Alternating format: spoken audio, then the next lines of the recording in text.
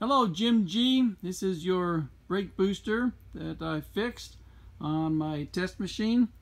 And as you know, the issue was seepage out of this bleed hole right here, which is your uh, first uh, indicator that there's an issue inside the brake booster. And what it's designed to do is leak here before the brake fluid gets into the vacuum chamber back here.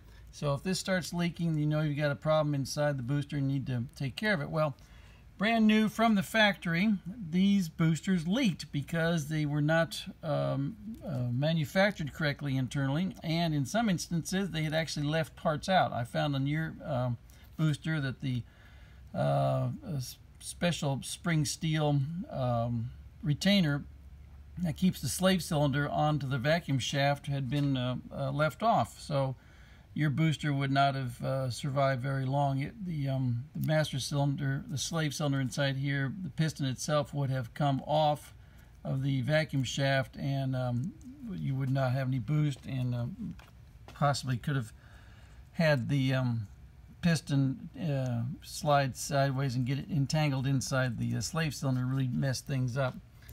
So I've got this all machined and um, uh, custom parts in here to uh, to make the to make this seal properly.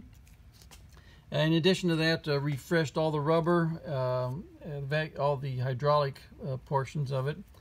Now then what we're going to do is test the booster, but one of the test ports is not on your booster due to, um, I don't know what why they did it. ATE just, you know, they're just goofy and some, I don't know, understand these guys. Anyway, this is a test port yours, as you can clearly see, does not have this hole right here. And this is uh, for um, putting a vacuum uh, gauge on your booster to check uh, when it's fully activated. And, um, and, some boosters that were reproduced had the hole and some didn't. So for some reason yours didn't have the hole. Now what that means is um, this, what it means is this vacuum hose right here is not going to be used and that, this vacuum hose goes to this vacuum gauge. So this vacuum gauge isn't going to do us any good, won't tell us anything. This vacuum gauge is going to go up and read um, uh, the vacuum that is produced by my uh, vacuum pump and what is going into your booster. So it's just going to read vacuum.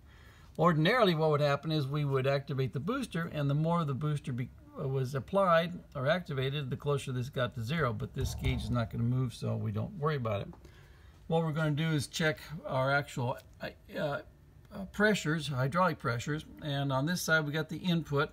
These two gauges are tied together. This gauge goes up, maxes out. This gauge goes up and reads final input pressure, which is a function of my lever right here, which is acting as the master cylinder. And here we have the output, and um, these two gauges are tied together. This gauge goes up, maxes out. This gauge goes up and reads final output pressure.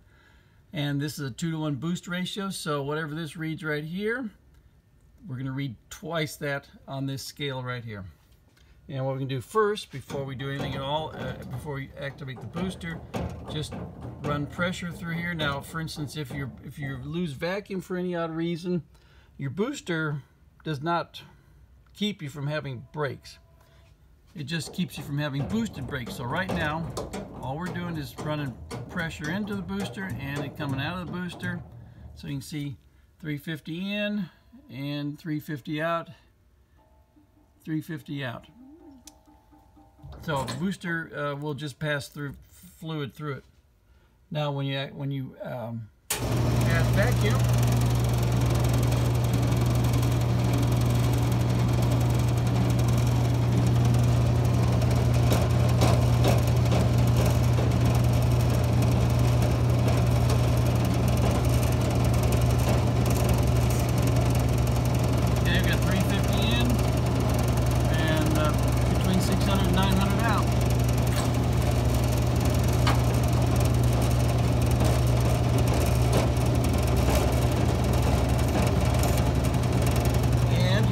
have no fluid leaking. We also check for fluid dripping around the seal, uh, where this jam nut goes. The seal is down inside here, but the jam nut, uh, this is where we have any leaks if there's any leaks coming out. Now we check for holding vacuum, holding vacuum.